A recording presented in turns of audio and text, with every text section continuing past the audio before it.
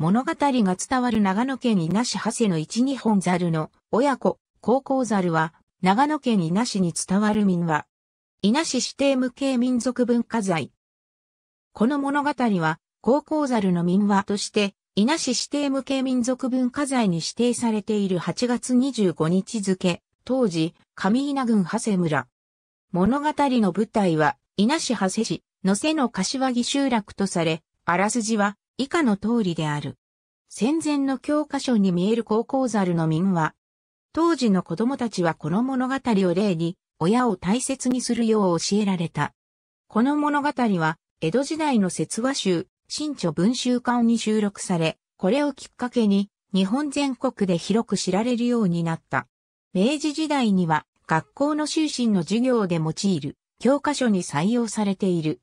戦後は、修身の教科は廃止となったが、代わって道徳の授業の中でこの物語が取り上げられることがあった。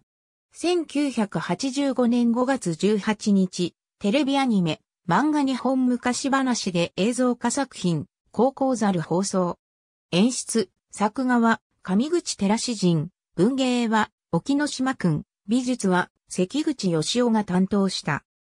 現代では、地元の婦人会による紙芝居の制作や、小学校における高校猿にちなんだ演奏会の開催、全国から親への思いをテーマとした手紙作品の募集、選出など、高校猿の物語を後世に伝える取り組みがなされている。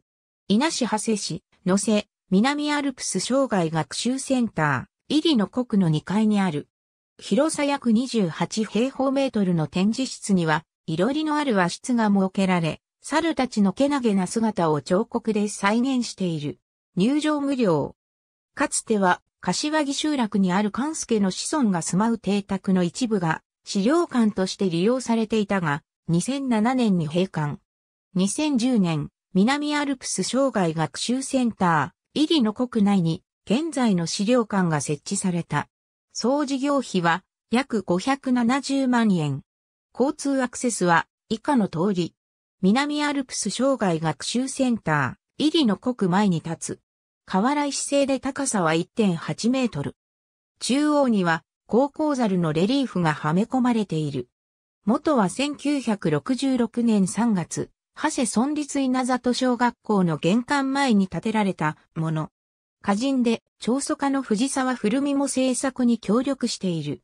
柏木集落から30分間歩いた場所にあるのが、親猿が埋葬されたとされる石の祠である。正面に山の神宮とあり、隣には高校猿の遺跡と記された石碑が立つ。伝承によると関助は、一本松の大木の下に親猿を埋葬したと言われているが、その木はやがて枯死し、1961年の災害で倒木した。なお、この松の木は関助が親猿を埋葬した際に植えたものとも言われ、受精があった頃は、山椒と呼ばれていたという。ありがとうございます。